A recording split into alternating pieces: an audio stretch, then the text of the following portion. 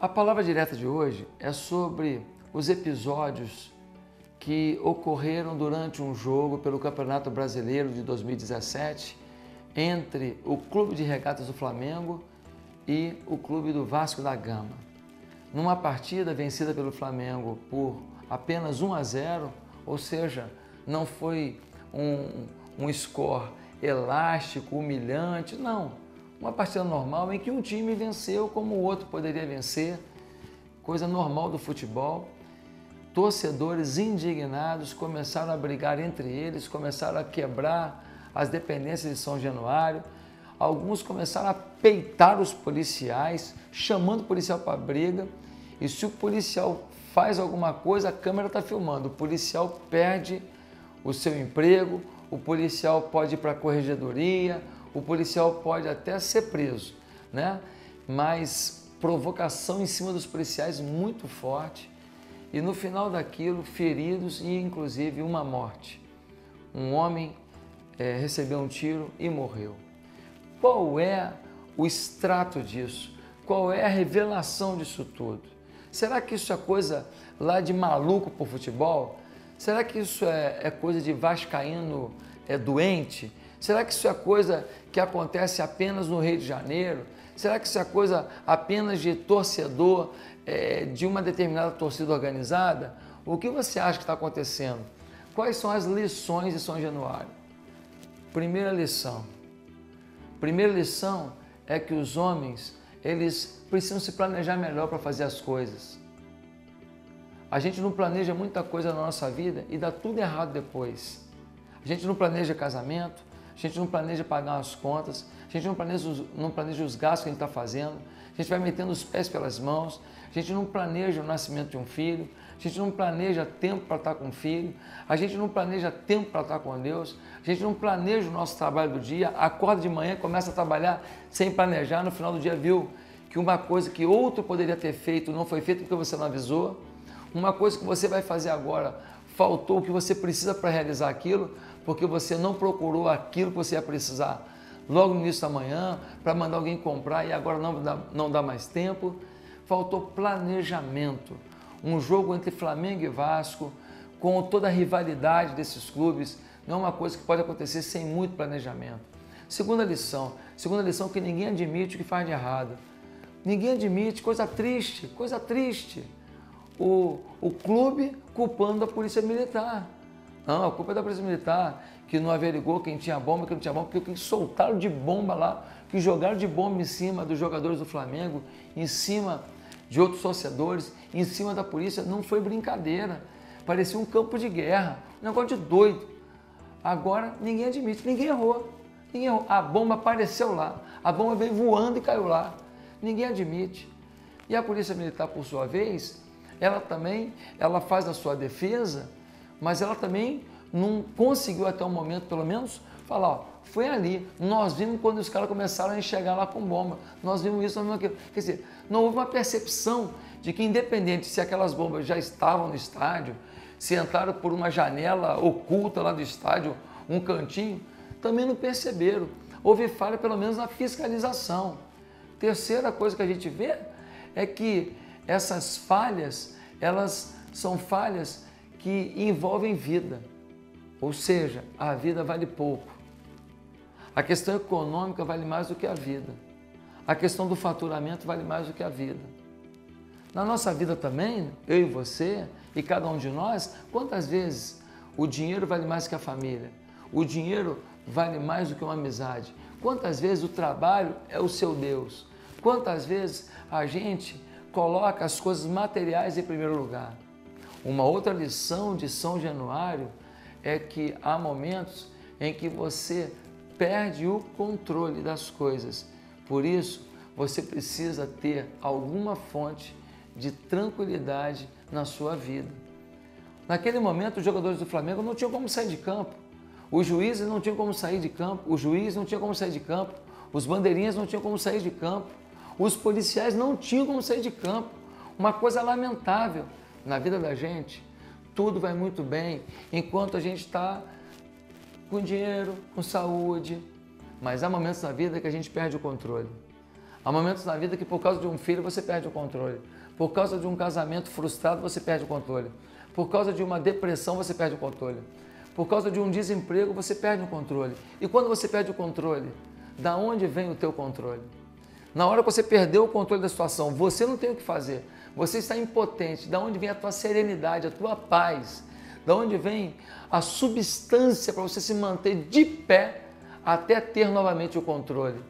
Eu só conheço uma forma de ter controle sobre isso: Deus. Deus. Se você não crê em Deus, você está perdido, porque você não tem esperança diante de algumas coisas da vida. Na hora que um câncer aparece, na hora que uma depressão aguda aparece, na hora que um filho faz uma escolha toda errada, uma filha vai por um caminho todo errado, querido, a gente se sente impotente, nós precisamos de Deus. Deus é que segura a sua onda. O Espírito Santo, diz a Bíblia, te concede longanimidade, bondade, te concede temperança, domínio próprio, te concede alegria, paz, é o fruto do Espírito que está lá em Gálatas capítulo 5, versículo 22 e 23. Você precisa, precisa dessa tranquilidade. Uma outra lição que a gente tem de tudo isso é que muitas vezes as pessoas não sabem nem se divertir. E esta é uma grande lição. As pessoas foram lá para quê? Para torcer, para brincar, para comemorar, para bater a mão um no outro, dizer gol, tal. Aí perdeu. Perdeu um jogo, vira guerra, vira crime, vira briga, vira morte. A gente não sabe se divertir. A gente não sabe fazer as coisas para se divertir com paz. Quantas pessoas vão jogar uma pelada com os amigos? No final da pelada, um deu uma entrada um pouco mais dura, o outro já vem já dar uma cotovelada, sai uma briga, um ameaça o outro de morte. A mulher desse daqui é amiga da, da esposa desse daqui, elas agora não podem nem se falar porque eles estão um com ódio do outro. Quantas famílias, quanto, quanta brincadeira de família jogando carta, jogando dominó, brincando e discutindo alguma coisa, um ficou com raiva do outro, teve uma confusão, eles estavam se divertindo, comendo churrasco, brincando. E agora são inimigos. Até para se divertir, a gente precisa ter uma cultura de temperança, de amor, de bondade, de Deus na nossa vida. Ah, meus queridos, Quantas pessoas que não sabem o limite entre a paz e a guerra, entre a diversão e, e a morte. Eles foram lá para se divertir, perdeu, protesta, oh, vamos, vamos lá, vamos melhorar. Mas bater e apanhar, matar e morrer, isso tem a ver com entretenimento. Há pessoas que a melhor coisa que elas poderiam fazer na vida delas é nunca mais jogar bola, porque não tem domínio próprio não sabe, não sabe lidar com isso, perde a cabeça, faz besteira. Eu queria te dizer que esta também é uma grande lição de São Januário. Precisamos saber nos divertir. E qual é a última lição que eu trago disso tudo? Qual é a última lição que eu considero muito importante? A lição que eu tenho para você é de que o homem, sem Deus, ele se torna irracional. Não há razão em você peitar por isso daquele jeito. Se um policial daquele perde a cabeça e dá um tiro. Não tem razão em você subir no alambrado e você pular para o outro lado para tentar bater em alguém. Não tem razão nisso. Não tem razão em você ir para a rua e ficar provocando e chamando para poder dar soco e chute no outro, correndo o risco de tomar soco e chute também. Que qual a garantia que você tem que você só vai bater? Você vai bater e vai apanhar. Você pode bater e morrer. Não tem razão nisso. O homem sem Deus é irracional. Não é irracional a gente crer em Deus. Não é irracional crer que, que existe um Criador sobre todas as coisas. Irracional é desconsiderar Deus. Irracional é achar que a gente veio do macaco. Irracional é, é, é se dizer ateu, falar, não, eu sou ateu. Como é que você pode ser ateu? Como que você pode ser ateu? Pastor, me respeite, eu te respeito, mas eu estou te confrontando. Eu estou te confrontando. Como é que você pode ser ateu? Não tem como, olha para você. Você não é obra do acaso. Olha para sua mão. A ciência hoje arranca metade do seu rim, metade do seu pâncreas, metade do seu pulmão, o coração inteiro. A ciência hoje arranca é, metade do seu, do seu estômago, metade do seu, do seu intestino, arranca o intestino inteiro e você continua vivendo. Os caras costuram aqui, cicatrizam ali, você continua vivendo. Isso é milagre, rapaz. Isso é impressionante. É muita evolução, é muita tecnologia, é muita inteligência. Nós não somos obra do acaso. Nós não somos uma meba que deu certo. Crê em Deus. Lição de São Januário. Que a direção do Vasco precisa de Deus. Que a Polícia Militar precisa de Deus. O que eu preciso de Deus. O que você precisa de Deus.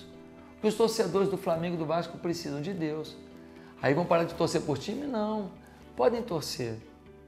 Mas vão torcer como diversão. Como forma de camaradagem. Não é tão bonito? Um Vascaíno abraçado com um Flamenguista no mesmo jogo.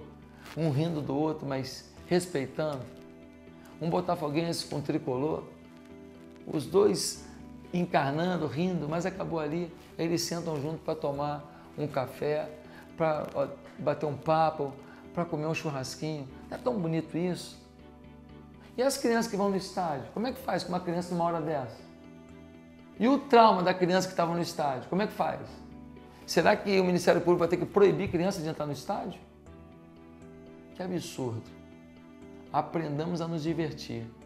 Aprendamos a depender de Deus. Que Deus nos abençoe.